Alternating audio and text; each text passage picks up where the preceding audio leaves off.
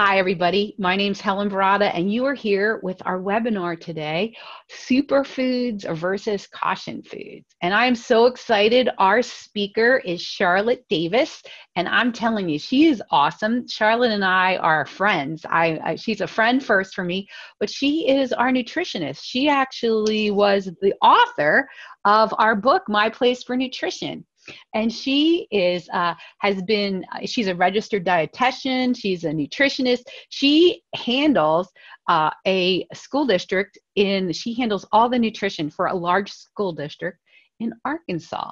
And so we're very excited to have her. She's also a mom. So she's uh, the mom of two adult kids. And her and her husband they live in searcy arkansas. But anyway, uh, Charlotte has so much to share with us today. She is a wealth of information, and I know a lot of you on here already know her. And for those of you new to Charlotte, welcome. I'm just so glad you're here. So, Charlotte, I'm going to turn it over to you and let you get started. Hey, everybody. It's so cool to be here with you and see all those states and places flashing by and some names that I know. And I'm just so excited to have this opportunity. And Helen thank you so much for that sweet introduction. and um, we have been friends a long time. I feel like we can finish each other, each other's sentences sometimes. So she, if I stop, maybe she will be able to do that. So um, we're going to start off, you know, um, talking about superfoods versus caution foods with talking about some of the uh, these characteristics of each one, sort of a definition. And um, I get a lot of questions about superfoods and caution foods. So we thought this would be a, a good uh, topic and hopefully it'll help you in, in your first place journey. First of all, on the superfood side, and I love this slide, Lisa Lewis uh, made this slide and I just think it's so cool um, with the, the punching uh, fists there together. But um, superfoods have health benefits well beyond basic energy. And for those of y'all who've heard me speak before, um, you've heard me say energy is just code word for calories. So um, there's much more to superfoods than just the calories they contain. There are a lot of different things in them, uh, super nutrients. And as far as uh, other, another top, type of uh, thing about them, they are disease fighting. Um, there is a ton of research um, about superfoods and a healthy diet overall that includes superfoods that shows how many how many different things you can help to prevent um, health wise if you eat these types of foods. Uh, pretty much they are all what we would term now whole foods or clean foods, um, very close to the way God made them, um, not minimal or no processing in many cases, um, so that things aren't taken out of them that God put in there for us. And in first place, we in the first place food plan, we uh, have made these prominent in each food group, um, putting them first uh, in the list of foods that are recommended in each food group. And they should be prominent. They, we want them to take a major spot in what you eat um, every day. But on the flip side of that, we have the caution foods, which um, are usually higher in something uh, that isn't so good. Um, so higher in calories, higher in fat, higher in sugar, or maybe just higher in some additives that uh, can take away from the nutrition benefits of those foods. Um, and then high intake, uh, research shows, uh, causes a higher risk of many harmful health conditions, which is completely opposite of the superfoods. Um, a lot of people call these foods junk foods, um, but in the first place for health, food plan, we have the caution foods listed last and just saying that they should not take a, a, a prominent place. And some of the caution foods aren't actually what I would call junk foods. For instance, full fat cheese is under caution foods in the dairy group just because it has more saturated fat, but it still does have some nutrition in there with the with the protein and the calcium from the dairy products. But uh, a lot of times junk food is just the easiest way to remember uh, caution foods.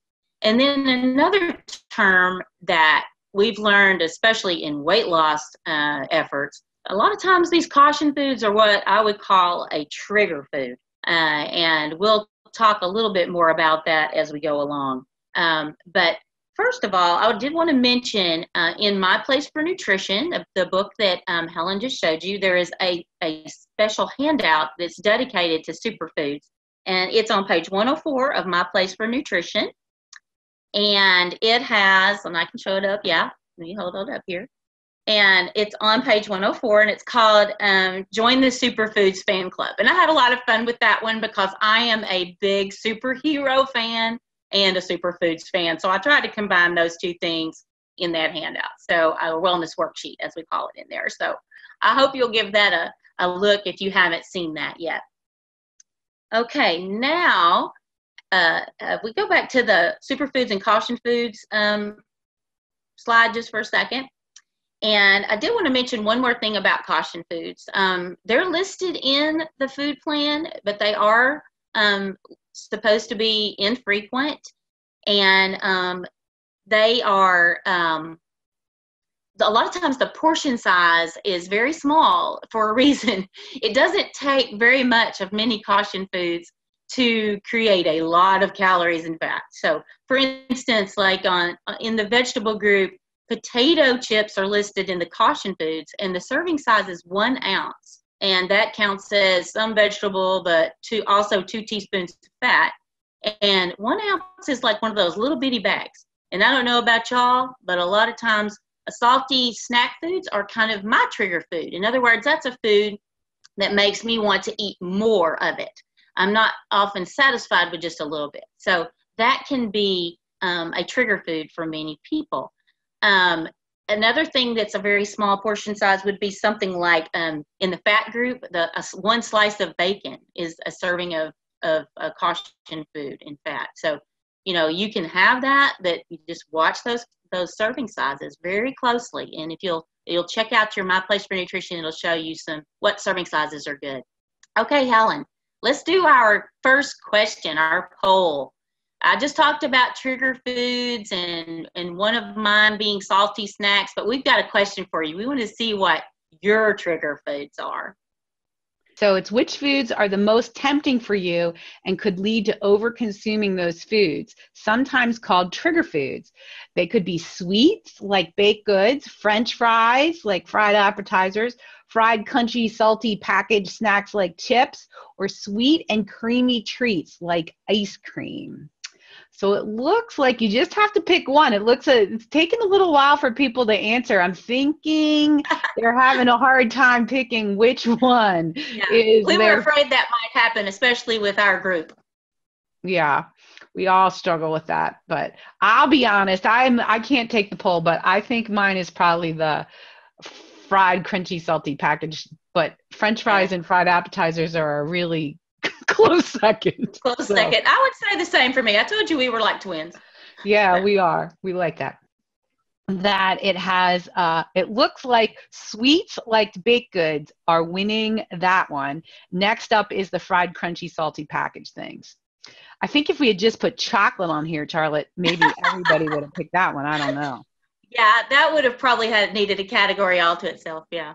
Exactly. Talk now about kind of a buzzword lately or buzz term um, plant-based diets. You know you see more and more now you see um, ads and um, labeling that talks about eating plant-based and there's a an, a, a a rise in the number of people who say that they are trying to eat plant-based or vegetarian or vegan. And um, even though to most people that sounds like that must be a really healthy way to eat. Yes it can be um, and we talk about that some in my place for nutrition about how to eat, a, a, a do the live it in a vegetarian way and do it in a healthy way. But um, I want to start out with saying, um, first of all, uh, fruits and vegetables, as I mentioned in my place for nutrition, they're super in the sense that their nutrient density is extremely high. All fruits and vegetables. They have lots of vitamins and minerals and disease fighting phytochemicals for the amount that you consume. So that's called nutrient dense. And there have been countless studies uh, that have found associations between consuming diets higher in unprocessed plant foods and lower risk for a wide range of disorders such as cardiovascular disease, cancer, obesity, and diabetes. But recommendations to eat a plant based diet can be misleading just because a label states plant based does not mean that it's a good choice. Um, there was a Tufts University uh, researcher who made the statement that um, not all animal based foods are bad, and most of the worst things in the food supply are technically plant based. And you think about that and you think, well, that's really strange. But a vegetarian diet that is built on non whole grain pizza, for instance, uh, white pasta, and baked goods may be plant based, but it is far from a healthy dietary pattern. And the Tufts expert went on to say that much of what is harmful in the food supply, things like refined grains, starches, sugars, and trans fat, is plant based. So, French fries and soda are technically plant based, vegan, and vegetarian, and so are gummy bears, white bread, and ultra processed breakfast cereals. So just because something says it's plant based, it's kind of like back in the 80s when everybody started slapping cholesterol free on things that were already cholesterol free, um, like potato chips in most cases. Um, it made it sound healthier, but I just wanted to give you a heads up that, you know, eating a diet full of fruits and vegetables is not exactly the same thing as eating a plant based diet, according to some people anyway, there was a study that I had read, um, or a report by a group called the Eat Lancet Group, and it was by about uh, 30 world renowned scientists. They'd gotten together and they were talking about um, healthy diets, but also about sustainability of the food supply. And so their main focus was trying to figure out what was best for the food supply um, as well as for he- our health. And what they found out was that if their recommendation was that global consumption of red meat and sugar needs to be cut in half, and intake of fruits, vegetables, nuts, and legumes needs to double in order to achieve a dietary pattern that is both healthful and environmentally sustainable. So I thought that was really, really interesting that not only is this healthy for us to eat this way, but it's healthy for the planet. Um, so, talking about fruits and vegetables being so, so good, for us. I wanted to just focus on one group. There's so many, it's hard to decide what to talk about. Um, but I did want to mention some super vegetables that are called cruciferous vegetables. That's the group that they're in. And um, so this is a group of vegetables, and you can see the great picture there that Helen picked out for me. It's part of what's called the Brassica family, and they're known as cruciferous because their flower petals form the shape of a cross. The word cruciferae is Latin for cross bearing, which I thought that was really cool and appropriate for our uh, first place for health reasons. But popular vegetables in this family include things like kale and broccoli and Brussels sprouts, cabbage, cauliflower, arugula, radishes, and collard greens. And if you're like me, turnip greens as well, also really good. Um, like most other vegetables, they're very rich in fiber. They have lots of vitamins and minerals and phytochemicals to help promote human health. But they are uniquely a rich source of, of something called, and this is one of these big long scientific words, but it's glucosinolates. And these um, are sulfur containing compounds that are responsible not only for the sometimes strong smell uh, and, the, and the bitter or assertive taste of these vegetables, but also for some unique potential healthful uh, qualities. Um, I know that one of my favorite stories about broccoli uh, and the smell was uh, Tony and I just got married, and it was like my first day after we got off our honeymoon. We came, we both went to work, and I came home and I was starting to cook supper, and I'd never cooked supper in in this particular house before. And he had an electric oven. I'd never, an electric stove and electric oven. I'd never had that. And um, so I was going to make this big dinner of chicken and broccoli and homemade rolls. And it was a disaster, let me tell you. Um, I was used to cooking with a gas stove and a gas range. And of course, when you have a gas stove, you just shut it off. When you turn something off, it goes off. Uh, well, electric stuff keeps cooking for a little while. So my broccoli burnt. Then, in the meantime, I had made homemade rolls and my husband's oven had never actually been used and he did not know that it had this problem but um, we i made put the homemade rolls in there had ri- they had risen so pretty and i put them in there turned it on bake started cooking them and then i started smelling something burning. And it was on broil instead of bake even though the bake thing was what i had on. So so i had burnt broccoli which was really stinking up the house and burnt rolls and when he came in that's what he smelled. So every time i think of burn i try to avoid burning broccoli because it brings back that memory. But broccoli is one of those things that tastes great if you cook it right. And if you cook it and there's so many different ways to do it um, but cruciferous vegetables contain a variety of those, those things I just told you about, the glucosinolates. And what happens with those, each of those forms a different compound when it's broken down. And it's these compounds, and you may have heard this term, metabolites, that may be active in our bodies. And though human studies are limited on this, cells and animal models suggest that these may trigger antioxidant and anti-inflammatory responses that help help your cell function properly. And there is a ton of associated evidence. While there's no proof of cause and effect in humans, high intakes of cruciferous vegetables is associated with lower risk of, and this is several types of cancer bladder, breast, colorectal, endometrial, gastric, lung, ovarian, pancreatic, prostate, and renal cancers. So, lots of benefits associated um, as far as cancer uh, preventing benefits with this group of vegetables. So I hope you'll try some of those after this. Okay, Helen, next poll, we're going to be talking about how you like your vegetables. So let's All go right. So uh, I am launching a new poll and it says overall favorite way to eat your vegetables. Do you like them raw, steamed, sauteed, boiled, or roasted? So these are multiple choices on how you might like to have your vegetables. So uh, it's interesting. I love I love them all different ways. I don't know boiled. When I was a little younger girl, it seemed like boiled wasn't good, but now I do a little bit better job. I guess it's more like steam than boiled. But um, and then one cool idea though, um, my st- stepmother she used to use the water and stuff from the that she boiled the vegetables in and she put it in a, pot, a bowl and she used it to make broth.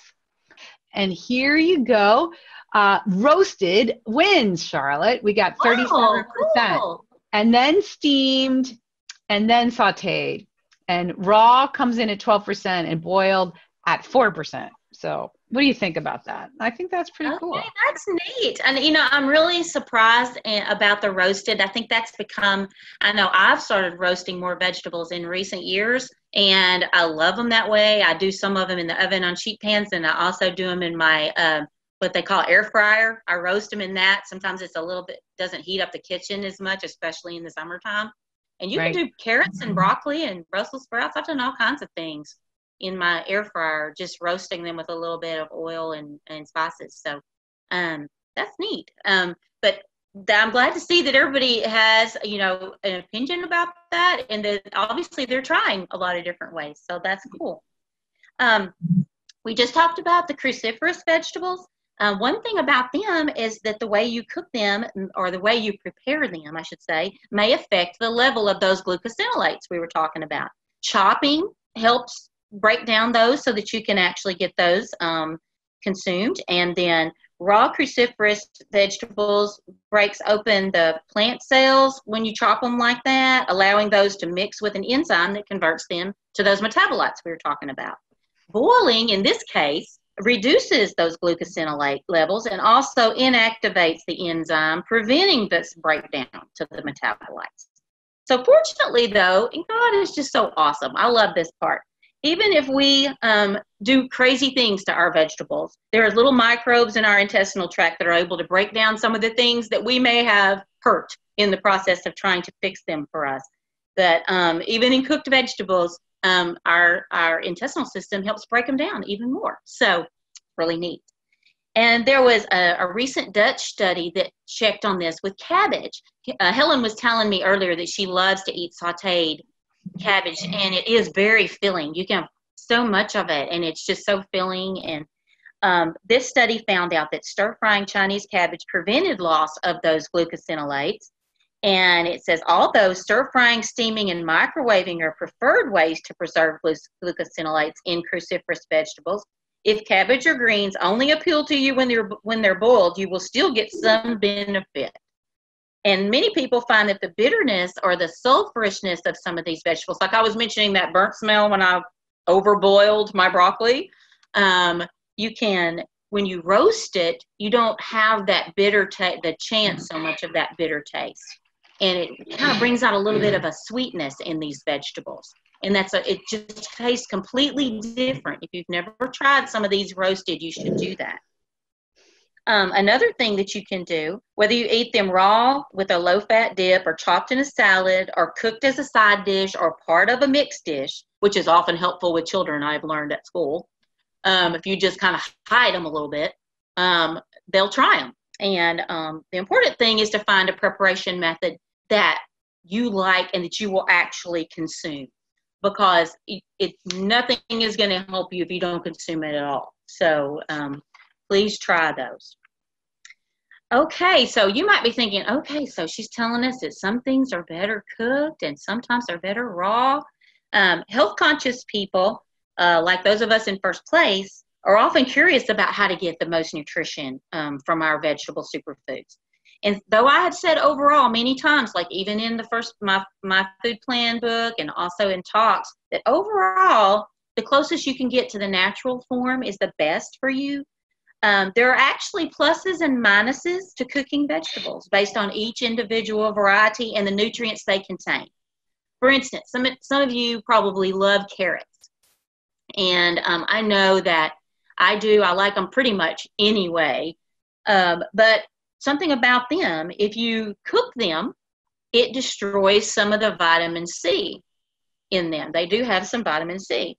But if you cook but if you cook them, it also increases the availability of beta carotene, which is a form of vitamin A, which are probably more what carrots are known for is the vitamin A. Um, so you can get more or less of a nutrient based on whether you eat it cooked or raw. Um, so cooking can actually lower the concentration of a vegetable, and and this could be with any cooking method really, because vitamins are just not very stable, especially what we call water soluble vitamin, like vitamin C, for instance. For instance, the longer a food is exposed to heat, the more vitamin C levels are reduced. And the concentration of some nutrients is especially affected by cooking in water, again, because they're water soluble. So these nutrients are found in things like broccoli, kale, bell pepper, and they, they leach out into the water when they're cooked. Um, so you might want to consider these actions to maintain as much nutrient nutrition as you possibly can. Eat them raw, it's the first choice with some of these. You will maintain more of the of the overall veg, of the overall nutrients. Um, use methods when you do cook that limits their um, association with heat for very long. So things like steaming, blanching, uh, sautéing, roasting, which t- cuts the time down some, microwaving, and they use very little water. So that prevents these leaching out in there. But as Helen just mentioned, which was a great segue for this, if you do like them boiled and you use you have that water left over, those nutrients are still in that water. So you can use that to make broth or soup, stews, all kinds of things. Um, cook your cook your pasta in; it'll add some nutrition back into the pasta. You know, so if you like them boiled and that's your favorite, then just keep doing that. But use that liquid um, for something else as well, rather than just pouring it down the drain because you'll actually get to consume those that way. Another thing, other than um, cooking can lower concentration, like we just talked about, of certain nutrients, but it can also increase the availability of certain nutrients, like we were talking about with um, some of the glucosinolates earlier.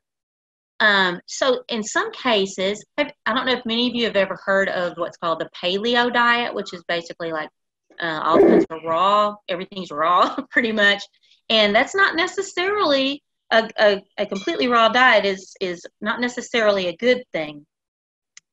A study published in the british journal of nutrition found that following a strict long-term raw food diet was associated with high levels of beta carotene and okay levels of vitamin a but very low levels of some prostate cancer fighting uh, lycopene which is an, one of those phytochemicals we were talking about Heat breaks down the cell matrix and allows some of those nutrients to be released when they're cooked.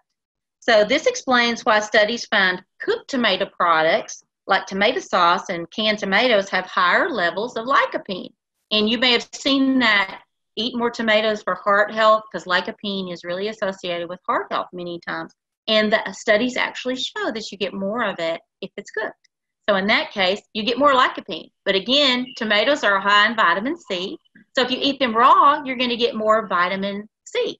So you're going to you're going to get different amounts of things at different times. So the best thing to do is to eat vegetables however they most appeal to you and uh, eat them so that you'll at least get some nutrition from these powerful, powerful superfoods. Okay, we've got another poll. So um, this one is about how you think the very best way overall is to um, maintain nutrients. All right, so I'm launching the poll. If you could choose one cooking method that would preserve the most nutrients overall, what would you pick? We have saw, steaming, sauteing, boiling, and roasting. And here it is. I'm sharing the results now. And as you can see, steaming came in at 55%, roasting at 39. Uh, nobody picked boiling. I guess they listened to you. And sauteing. so what is it? What's the answer? Okay. In general, steaming. So you guys are so smart. 55% of you knew that. So it preserves the nutrients best overall, and it goes back to those reasons I was talking about earlier. It avoids the leaching of the water because you don't have water. You're just it's the steam is cooking it, so you're not leaving the nutrients in the water. And it limits the exposure to heat because it's so fast. So you don't have as much heat killing the nutrients in there and breaking down the vitamins. So, but anyway, regardless of the cooking method, some nutrients will be better absorbed if they're prepared or eaten with something, and you might be surprised by this, healthy fat. A lot of times we, we think, oh, fat's bad all totally, you know, but in the case of many vegetables that have fat soluble vitamins like vitamin A, which is in all the dark green and orange vegetables, they're better absorbed if they have a little bit of fat with them. And I'm not talking about frying them, I'm just talking about a little bit of healthy fat. And um, especially vitamin A, D, E, and K, and some phytonutrients like beta carotene and lycopene that we were talking about earlier, are better absorbed with a little bit of vegetable oil. Chopping also helps release mm-hmm. these. So when eating vegetables raw, you can still eat them raw, but if you put a little fat with them, like if you're eating a salad and you want to put a few little nuts on there, some walnuts or some almonds or something like that, that fat in the nuts, the healthy fat will help absorb the vitamin A that's in the kale or the spinach or the romaine that you're eating. Same thing with a healthy veg, a healthy salad dressing that has some good oil in it, a balsamic or a, or something like that, um, as opposed to a creamy dressing that's going to have some fat, but it's not going to be those healthy oils that help it absorb quite as well and be as healthy for you. So that's the way you can increase the absorption of those. So, okay, moving from these cool vegetables that we've been talking about and how to maintain nutrition with that, we're going to move into the caution food uh, area for a little bit. And we have a fun question for you here, too. Helen? Yes, we do.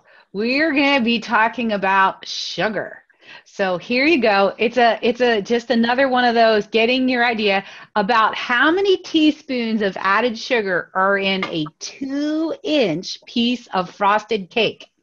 Your choices are 2 to 5 teaspoons, 6 to 9, 10 to 12, 13 to 15. All right, here's the results, guys. So you can see.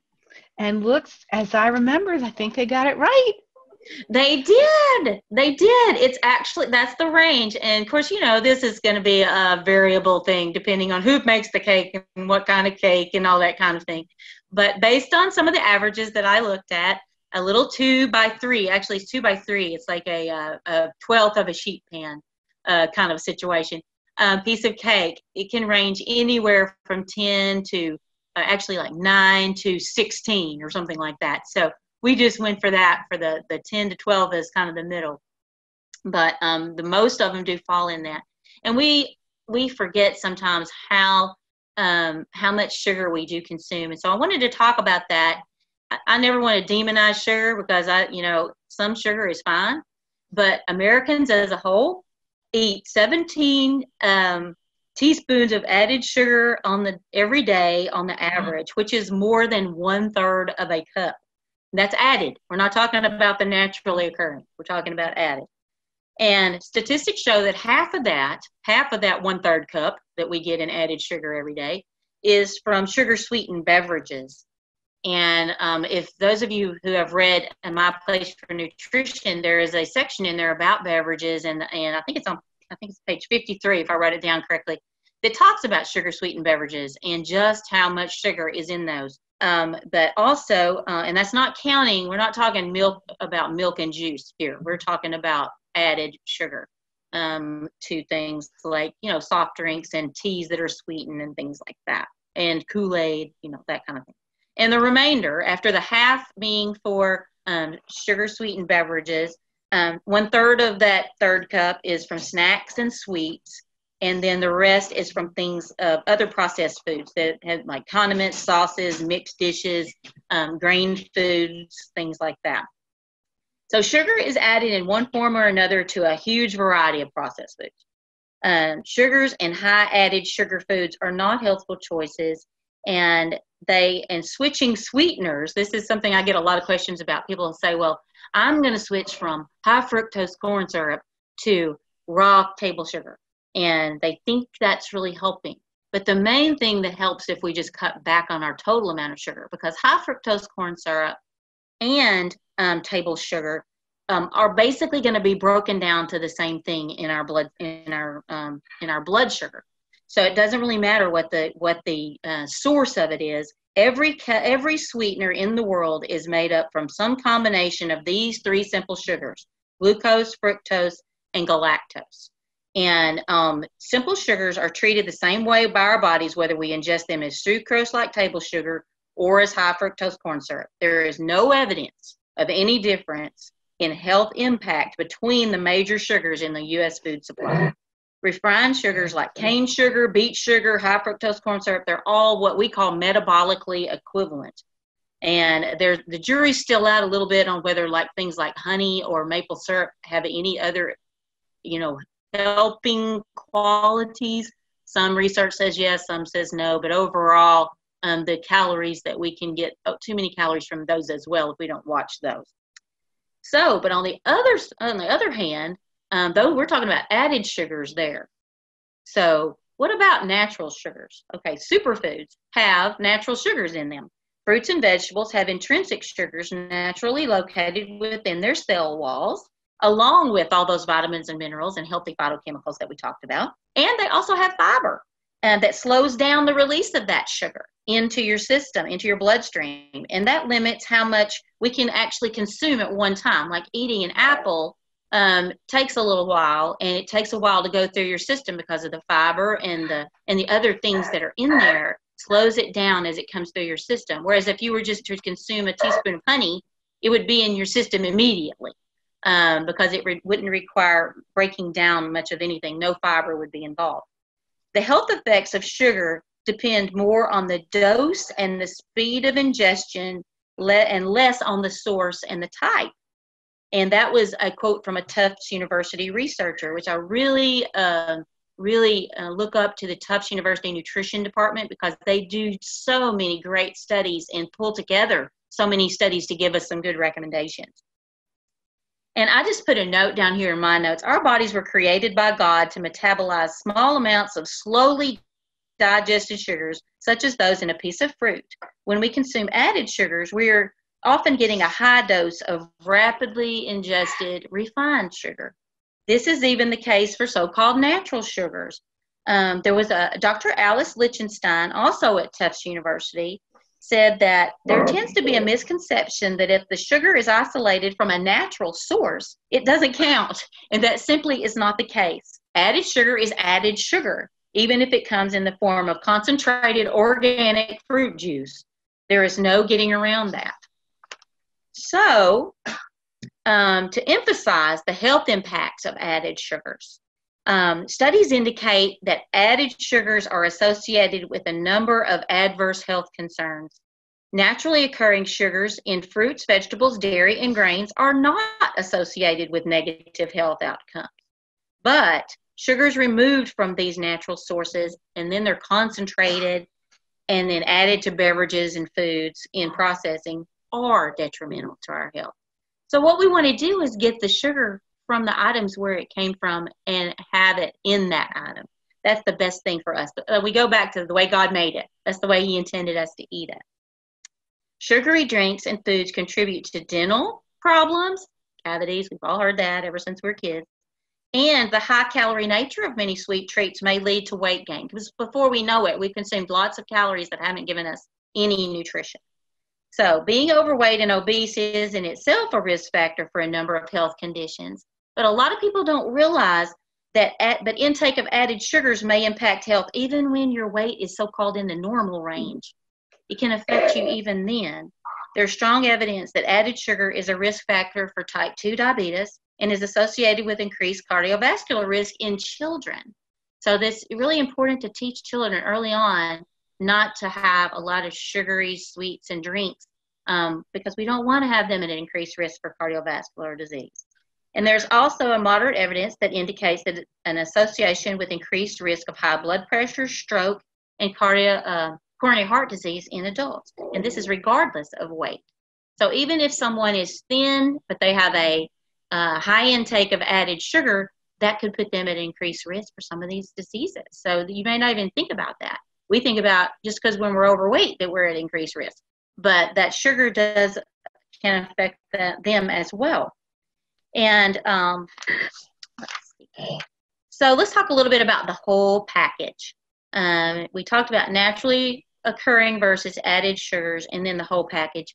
Um, high intake of added sugars is also associated with poor diet quality overall. And I think that's really probably the, the primary focus of why we wanted to talk about the caution foods. So many times we will eat these low, you know, low nutrition foods, and then they end up taking the place of the things that we really need.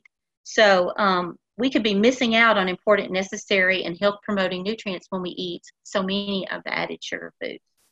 Data indicates that it's not just the added sugars themselves or the calories they add that lead to health problems. It is also what we are not eating when we eat sweets and treats. And I know if if I'm eating something like a piece of cake for a special occasion, that day I'm probably the, the fruit's not going to sound as good to me that day. Or I'm not going to, you know, I'm going to may leave that off and so I'm not going to get the fiber and the nutrition from that piece of fruit because I'm, oh, I already had something sweet. Fruit doesn't sound good right now. So, and just the opposite, when you leave those high added sugar treats out of your uh, eating plan for a while, how great does that fruit taste then? I mean, it's like you look forward to that. That becomes your dessert, and that is the dessert that God made for us in its natural form. Um, a Finnish study in the Journal of Nutrition Science, and this was just last year, found that a high added sugar intake was associated with a low intake of fiber, lower fruit and vegetable consumption, and higher consumption of refined wheat products, you know, which would be like white white grains without the whole the whole grains. And, and those who consumed the most naturally occurring sugar had higher intakes of fiber in fruits and vegetables, and they were also more likely to be physically active and not to smoke. So it's kind of like all of this became a healthy lifestyle. When you add the healthy foods in, the rest of your lifestyle is is, is you it promotes doing that with other choices as well for your body. And we've been talking about a healthy lifestyle in first place for health ever since its inception back in 1981. And that it's all about the lifestyle. We don't want to demonize any certain foods, but we also don't want to give something a prominent place that's not going to give us what God wants us to get from that food. Um, I do have kind of a funny story, and he, I'm sure he's probably not on this webinar, but some people in my class probably are. But I had a young man in my class one time, and I, I got so tickled at him. Um, he he and his wife, it was a young couple at the time, and they were both in there, and he was turning in his uh, trackers every week, and um, he loved to draw pictures on it for me and entertain me with his trackers every week. And like under exercise, he would draw a picture of a stick figure in bed with Z's above its head, no exercise today, you know, things like that. Well, one week it was after a holiday. And, you know, holidays for all of us tend to be times that we get too many of those caution foods. And so I was watching, you know, looking at these trackers. It had been like, I think Thanksgiving had just passed. And I was going over their trackers. And he kept writing something down there. And, and it was like fruit and nut wedges, fruit and nut wedges. And I was like, I put a big question mark on there because I was like, sounds healthy, you know? And um, so when we got to class, I, I said, Michael, you're going to have to answer a question for me. I was like, um, what is this? What are these fruit and nut wedges?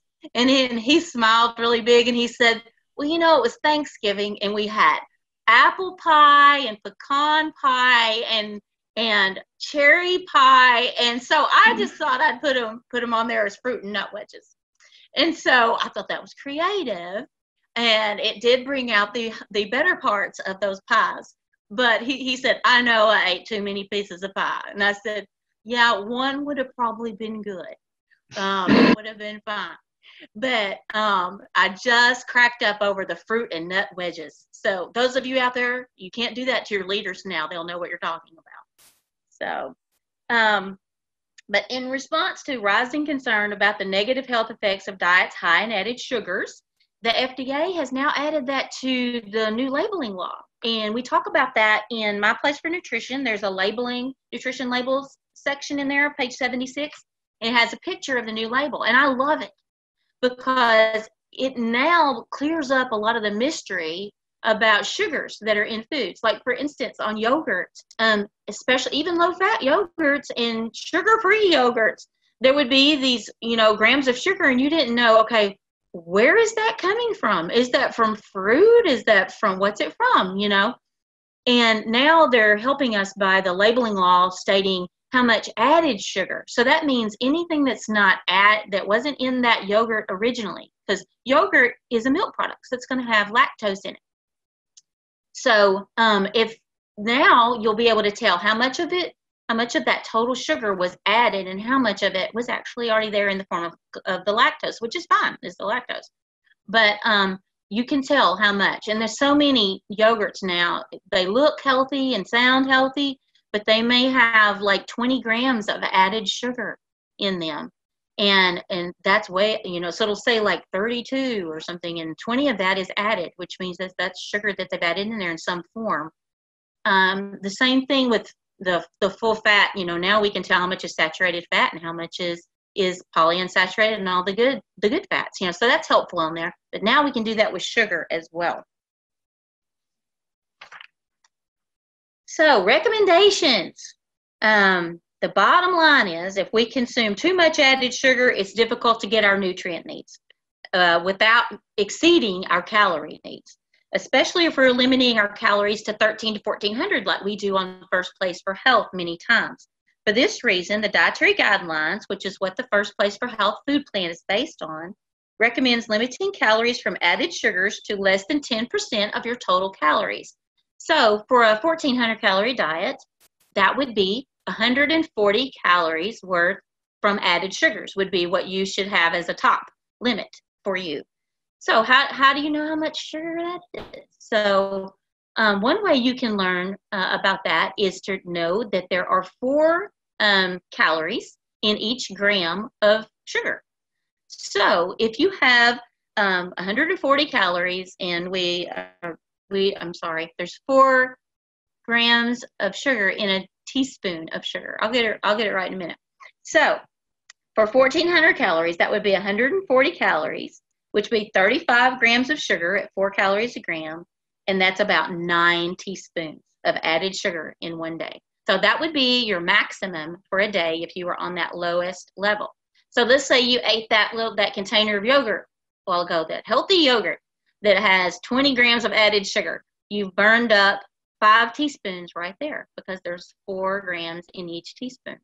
So there's five of them. And so many times we get it in hidden places. It can be in soup, in salad dressing, um, in lots of different things that were crackers, bread, cereal, you know, all those kind of things. So be sure and watch out for that so that you know you're really getting what you need from that grain or that uh, dairy product and not things that you don't necessarily need to add to your calories. Um, let's see. Oh, uh, also, just some final recommendations about the sugar. Cut back on all forms of added sugar. So, how do you know what's been added? So, if you look at the ingredients, check for any ingredient with the word sugar, which is pretty obvious. So, even if it says white sugar, brown sugar, sometimes it'll even say things like coconut sugar, uh, beet sugar, raw sugar. Bottom line, it's all sugar. If it's added in the ingredient listing, it's been added. Um, even sugar cane juice would be another example that would be added sugar. Also, anything with the word nectar, which doesn't that sound so healthy? Nectar. Um, it is also, it's usually taken from another source and put in that, a fruit sugar or a plant sugar that's added to that natural sugar that's in that product. And then any word that ends in the word syrup. So most of you would, that would make sense. Corn syrup, cane syrup, any of those. And then uh, there used to be an ad on television for kids. I don't know if y'all remember this. It was talking about all the OS words ends in OSE. And it'd say gross, all the OSes. And it was sucrose, uh, which is table sugar, fructose, galactose, any of these extra sugars uh, that are on the ingredient listing that weren't in that product naturally. That means they've been added there. So watch for that and check nutrition facts labels for added sugars. You divide those grams by four, which will give you the approximate number of teaspoons, like we talked about earlier. So, and number two, make water your beverage of choice. And we talk about that a lot with First Place for Health. We our bodies are so much a percentage of water, we need it. And um, so we want to be sure and get plenty of water. And also things like our milk our, our low fat and fat free milk, coffee and tea and herbal teas are good choices. And in that beverage group that I talked about earlier in My Place for Nutrition, it talks about some limits on some of that as far as caffeine is concerned and what's good and what's excessive and that kind of thing. Um, cut back on sugar added to your coffee and tea. I mean, it's fine to have a teaspoon or two of sugar. Just remember that um, you that maximum that we talked about. You know, that nine teaspoons um, for that load. So if you're going to have it fine, but just monitor it and make sure you're not getting a lot of excess everywhere else. And then make sweets and desserts a treat, not a daily event. Or um, very small, small portions. I mean, so many times we're not good. If it's a trigger food, like we talked about things that, that are trigger foods, I have friends, and I know Carole Lewis has mentioned many times that sweets are her trigger food. If she even eats a little bit, it makes her want some more and and that may be you and so she just tries to avoid it most of the time because it does that for her so if that's you you might want to stay away from it totally but if you're able to have a little bit and and do that and and get right back with your normal healthy eating plan then you can usually work that in and just eat small portions um, when you do that um, there's also some ideas in my place for nutrition there is a handout called recipe transformation tactics and that one is on page 83 in my place for nutrition and it talks about ways to cut down on sugar and add nutrition into recipes. So hopefully that will help you a little bit as well. I wanted to talk about how the um, there's been a misconception back in the 80s. Everybody was going to low fat everything, and that you may remember that that was the blow up with the Snackwell's cookies and all the things that people were eating um, that were low in fat. But what happened was we added a lot of those added sugars, and we also added a lot of refined carbs to a lot of things which were not good for us. And I wanted to just make a point to say that not all fat is bad. There are healthy fats. And if you look at your fat group in the um, First Place for Health food plan, it shows you some awesome, um, really healthy fats, olive oil and, and nuts and nut butters and things like that, avocados, um, all of those things. We want to have moderate fat in our diets, but we want it to be good fat. We're not talking low fat so much anymore. We're talking moderate fat and good fats because we want to eat those good fats that our body needs instead of the fats that are that can cause our our um, our blood our blood cholesterol to go up, which is the saturated fats and the trans fats. And you can look for those on labels, but also use your My Place for Nutrition to look at that as well. Okay, uh, it's all about balance, and we talk about that so much in First Place for Health. We want to eat a wide variety of foods from all the different food groups, making sure we get all the nutrients we need from the healthiest sources possible. And that's what the superfood groups are about in the My Place for Nutrition. So we want you to include as many superfoods as you can within the boundaries of your first place for health plan. In other words, don't eat a whole can of nuts. Don't eat a whole pound pound of salmon. We want you to stay within your ounces and your teaspoons and all that. Um, but try to include as many superfoods as possible because God put some great stuff in those to keep us all healthy. And be intentional about increasing your consumption of vegetables, especially the non starchy ones. And we talked about cruciferous today, but lots of them can be um, really awesome. I just didn't have time to talk about it. I could talk about it forever, as y'all know. Uh, and then work on decreasing your consumption of those processed foods, especially the ones that have a lot of added sugar, uh, things such as refined grains, and uh, also watch out for those unhealthy saturated fats. Okay. You did it. Way to go. well, we do have a few questions, but before I get to the questions, some people might be here and they don't know what First Place for Health is about. And we are a Christian weight loss ministry, um, founded, like Charlotte said, in 1981. Uh, in the email that you got, you can go to our website, and we are are committed to helping people be healthy and well. Uh, so, most importantly, so to love the Lord our God with all our heart, mind, soul, and strength. And from strength, that's the physical strength, but also eating well and uh, just being a well person. So you can check that out at firstplaceforhealth.com. So the first question is Can you say again how many grams of added sugar are in 140 calories? yes, it was 35 grams, is what it ends up being. If you take 140 and divide it by four, that, that gives you um, hang on if I can really, yeah, that gives you about nine teaspoons of, of uh, sugar.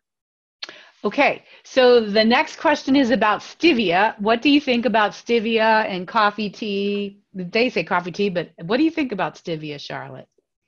Oh, I think it's a great um, natural sweetener. I haven't seen anything negative um, about it in the research. Um, so far, so good on that one. Um, unlike some of the things like saccharin, which has been associated with increased risk of cancer if you have a whole lot of it and things like that. There's nothing like that on stevia, and sounds like it's a it's going to be a winner. I hope so. Yeah. So far, so good on stevia. So I think that's a good. All right. Anybody else have any more questions? Because I don't have any more lined up. So you did a great job, Charlotte. Thank you so much for the details. I always love the scientific part of being healthy and well. I think we all know we're supposed to eat more superfoods. That's normal. So right. Um, I think I may have left something out a minute ago when I was mentioning about the grams of sugar. I took 10% of the calories, like the 100, the 1400, 10% of that would be 140 calories, divided by uh, in the grams, that would be 35 grams. And so you turn that into teaspoons, that's nine teaspoons. So that's the way you work it down. So if you had a 1600 calorie diet, then you would have the 1600 calories, 160 calories worth, and then you would go down from there. All right, I see that we had a question come over in the chat box. What about blanching vegetables? Oh yeah, that's good. That that's a good thing too. That's very similar to steaming in that there's not much contact with the water, so you don't le- leach out um, as much there. So, and if you could use that water, that'd be cool. That you would save all of it that way. But yeah. but that would be that's a lot faster process than boiling. One of the cool things my grandfather, my granddad was a really great cook. He used to blanch his carrots uh, and then put them, make them cold, and then put them on the crudite, like on a, a veggie tray. But his veggie, his carrots were just a little, like just took the edge off of the crunch. And now I've learned that that could have helped it make the carrot better because mm-hmm. it had a little heat to it. So that's interesting. Mm-hmm. Well, everybody, we're so glad you're here. We're so glad you came. And uh, check back next uh, month. We're going to do the Worry About Hurry with uh, Barb Roose, who is our speaker at Summit. And uh, so check out our events, check out our webinars, come to Summit, uh, join us. The price goes up Summit on uh, June 15th. So if you haven't gotten registered for Summit, now's the time. Thank you, everybody, and we'll see you next time.